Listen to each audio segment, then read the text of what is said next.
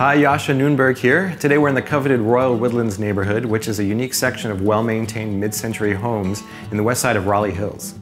One thing I love about this location is you're right by some local supermarkets such as New Seasons and the Asian market Uwajimaya, and you're only 15 minutes from downtown Portland and about 10 minutes from the Nike World headquarters and some other businesses in Beaverton.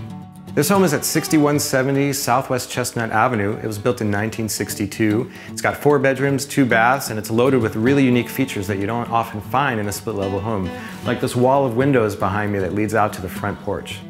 I'm excited to show you some of the great features of this home, so relax and enjoy your tour and have a great day.